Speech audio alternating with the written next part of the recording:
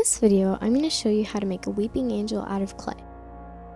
I started by taking some Fimo Effects granite clay. If you don't have this, you can also use gray clay.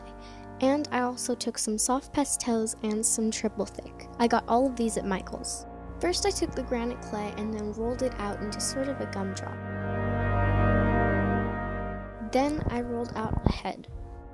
Then I took some more of the granite clay and rolled it out. I took the rolled out clay and added it to the body. If it helps, you can look up a picture.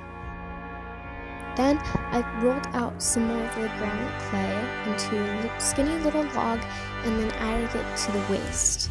Then I rolled out another thin sheet of the clay and then wrapped it around the bottom and made it look really ruffly. Then you can just add the head to the body.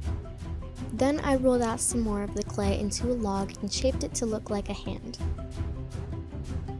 Then you just attach the arms onto the body and then make it cover the face.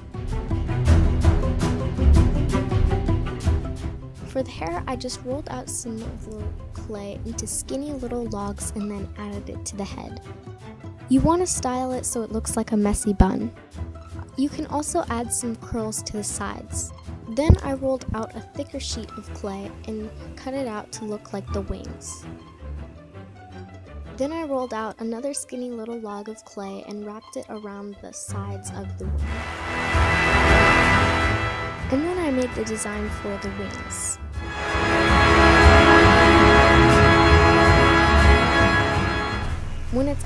I took my soft pastels and with the black, I just brushed on a little bit on the angel to make it look a little bit more realistic. Then you can bake. Thanks for watching!